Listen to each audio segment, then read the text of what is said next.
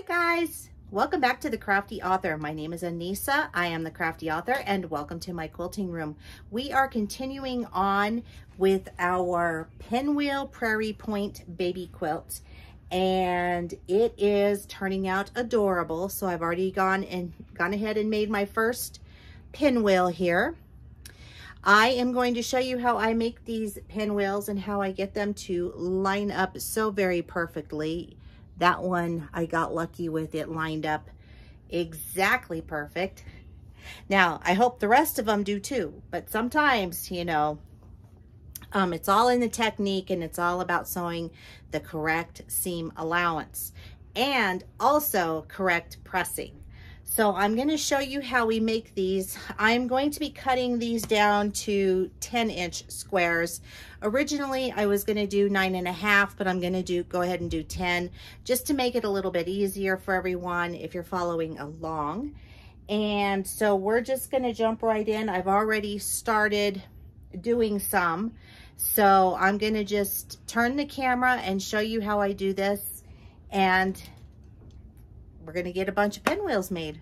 Okay, so the next thing that we're gonna do is we're going to sew our blocks together.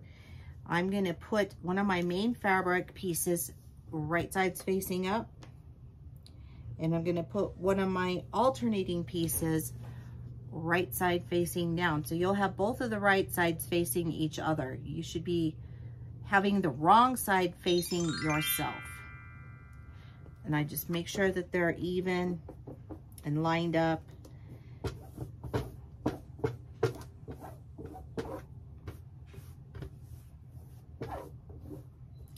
And then I'm gonna put a pin right here just to hold it together while I sew. And then I'm gonna sew all the way around my square.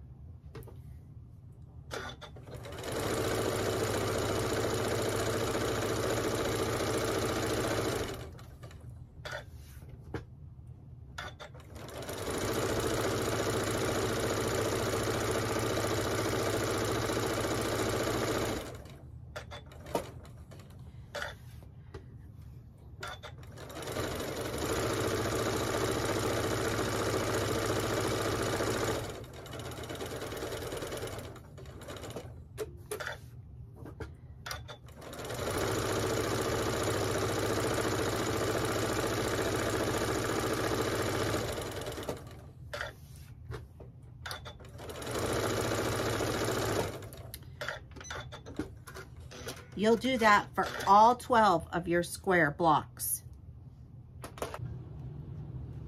All right, so if you have a circular mat, a circular cutting mat, now is the time that you're gonna wanna use this.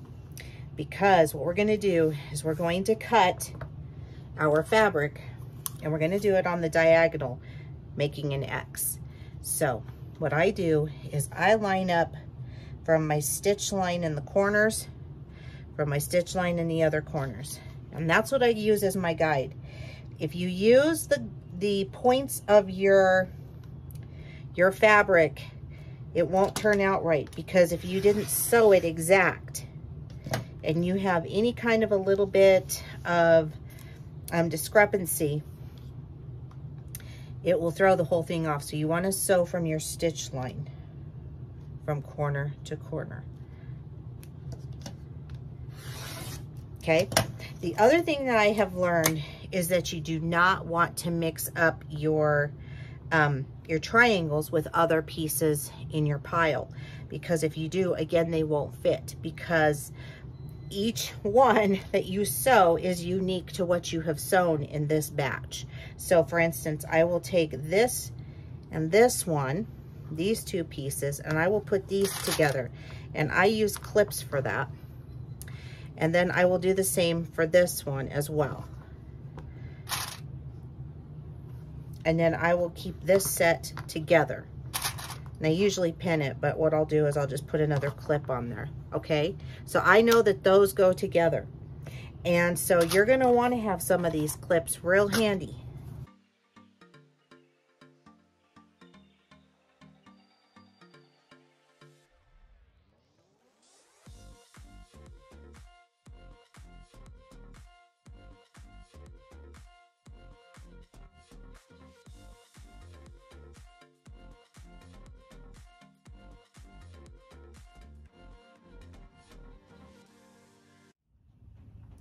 All right, so now we're at the pressing station. I'm using a wool pressing mat. Um, I find that this holds the heat in better. So if you do not have one of these, oh my goodness, I highly recommend them. All right, so I'm going to start pressing these. What I want to do first is I'm just going to set that seam and then I'm going to use my iron to push that seam back and just press. I don't iron, I just press. You want to make sure that you have all of that there because you don't want any pieces like popping up like what I've got here. And just smooth it out.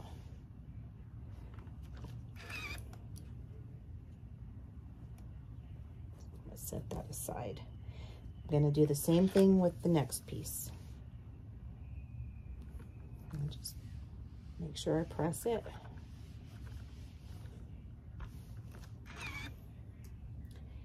And then the next one.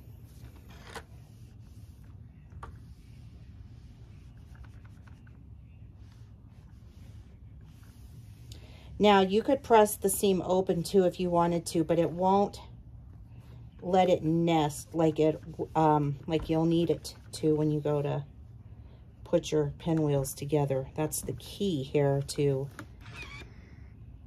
putting a pinwheel together is the nesting.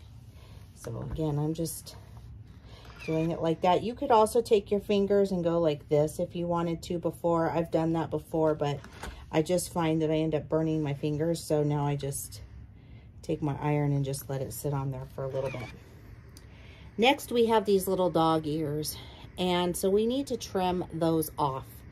So I like to do that before I start putting my pinwheel together. So I'll just trim them. And you're going to do that to all of your little pieces. And once again, you're going to want to keep these together because of sizing, like I told you before. It's just easier if you keep your pieces together, trust me. I have learned this the hard way in making pinwheels. Because it's really easy to mess them up if you're not careful. So I'm just trimming these little dog ears right here. And now I'm going to lay out my pinwheel. So I want my pinwheel to be facing like that. I want you to be able to see it. Okay. So I'm going to turn it until I get it the way that I want it.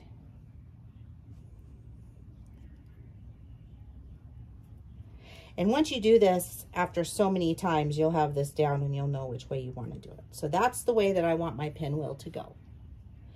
So all of the fabrics are coming into the, to the point here. So now what I'm going to do is I'm going to take my two top pieces and I'm going to put them together here on this side. And I want to butt up my bottom seams here. So I'm going to nest those and they will lock together when you go to feel them like that. And then I am going to use pins. And then I forgot what I was doing. So if you lose your spot and you forget what you're doing, you can always unfold it and make sure that it's where you wanted it to be. And it is. So I'm just going to pin right there where we nested that. And then I'm going to pin here. Now you don't have to do this and you can use clips if you want to, but I find that for this part of it, pinning is very, very helpful. So that is my top piece. This is going to be my bottom piece. And again, I'm just going to nest those two seams right there together like that and they just lock. And I want to make sure that I didn't just mess that up. I always do this. I always have to go back and look because I don't know why I do this all the time, but I do. So, yeah, that was right. When in doubt, double check. You don't want to you don't want to make a mistake right now. You'll it's easier to just undo it, double check yourself, and then go back to it.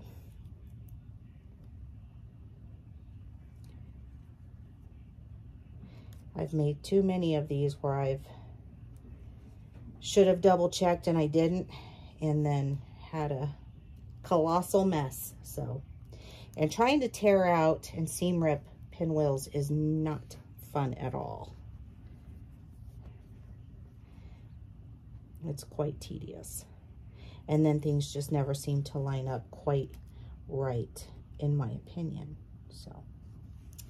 All right, now I'm gonna put another pin in here just to hold this down because I don't want this fabric to shift while I'm sewing it. All right, so this is my top piece. This is my bottom piece. I know it's my bottom because I've marked it. And now we're gonna head over to the sewing machine and we're gonna attach it. So we're ready to start sewing. So we're gonna just sew our top piece. We're gonna sew on this side down where we have all of our pins. We're just gonna start doing a quarter of an inch.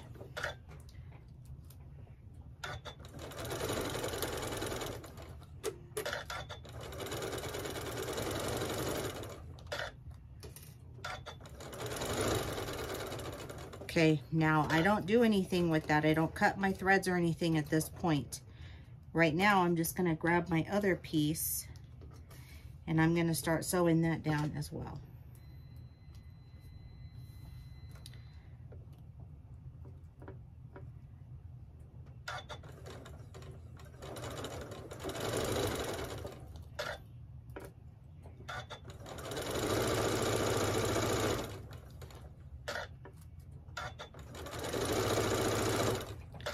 Okay, I'm going to cut my threads now. And I'm going to remove all of the pins that I have holding this together. I'm going to just put them in here. And I am going to take my top piece, they're attached as you can see, okay? So you don't want to cut that little string because that's actually going to help us. So I am going to open up my top and I'm going to finger press my seam and I'm gonna press it this way to the right. Be careful not to stretch your fabric. And then I'm gonna take this bottom piece and flip it. And I am going to press that little seam that way to my left. And then I'm going to make sure that I did this right. We're gonna find out. And then I'm gonna put my two side my two seams together here with that little piece of thread that's holding it together. That is going to nest those right there right together. So you can feel them lock when you do it.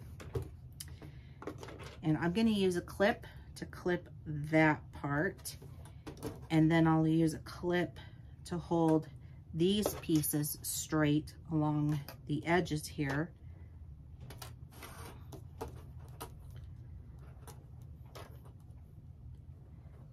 and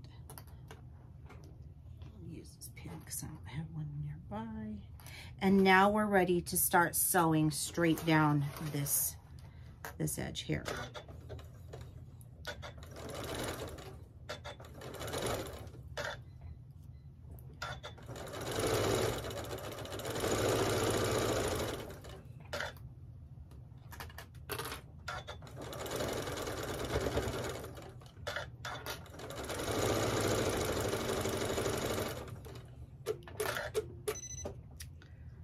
Almost out of bobbin. Okay. All right, so now we've sewn that together and now is the moment of truth. And here's what we have. Voila. All right. So now what I'll do is I will take this over to the iron and we're going to press this out. Okay, so here we are. We're just gonna go ahead and Fold that. I'm gonna just press this a little bit and then I'm gonna use the iron to just press that seam.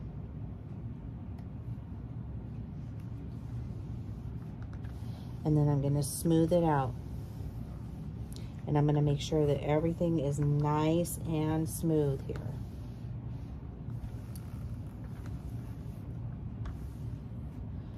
And it looks like everything is.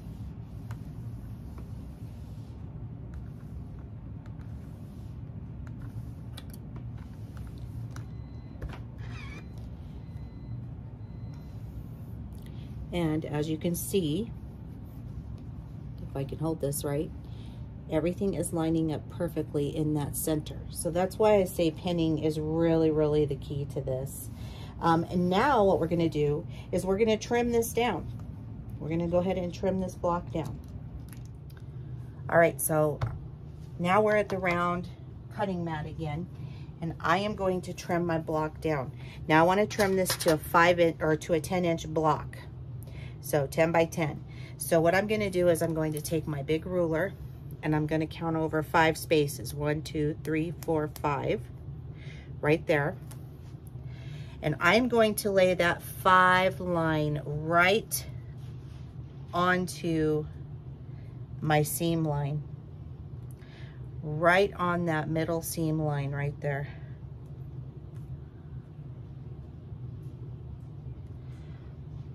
and I'm gonna make sure that I am right on that and then I'm going to cut.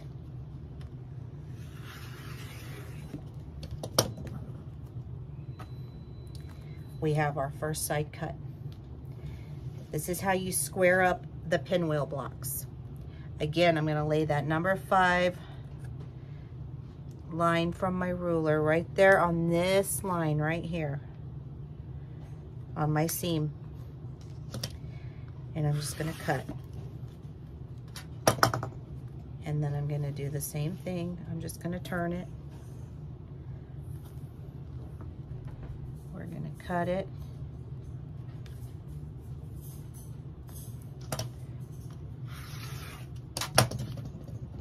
One last cut.